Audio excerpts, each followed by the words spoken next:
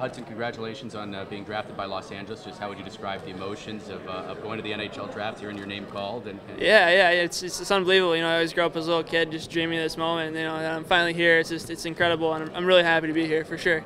You got pretty good size. How would you describe yourself as a hockey player? Yeah, yeah. I'm you know I'm power forward. You know I'm a big guy, go in the corners. You know grind those pucks out, bring them to the net hard, and yeah, I just use my body to my my advantage. Definitely, definitely. Uh, I mean, considering that and, and that you do have that size and the way that you play, I mean, that seems to be pretty lockstep with the way the LA Kings Oh, have yeah. their forwards operate. Have you ever watched the team a little bit and seen how they play? Oh yeah, definitely. Uh, with their Stanley Cup run last year, I, I watched that very, closely. You know, I guess it, it bo- uh, boded well for me. You know, I ended up with you know the bigger guy, and, and I think it'll fit in real well with LA.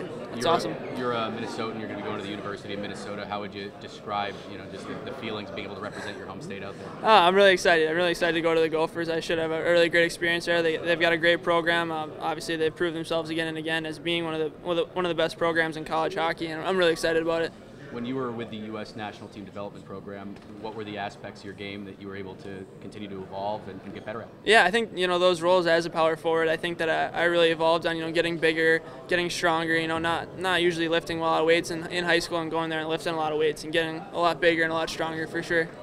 And uh, what was it? Uh, how many times did you meet with the Kings, and did you have any type of indication or, or inkling that they were going to be going after you? Yeah, I had a little bit of indication. I had, I had some meetings uh, um, during the season and a little bit at the combine too. So yeah, I had some had some good uh, convos with them for sure. Heading towards development camp, you know, uh, you know, what would what are you looking to, to do when you when you get out there? Yeah, I guess just go out there and do my best and you know show them what I have and you know show them that you know I, I can do it and I can prove myself for sure.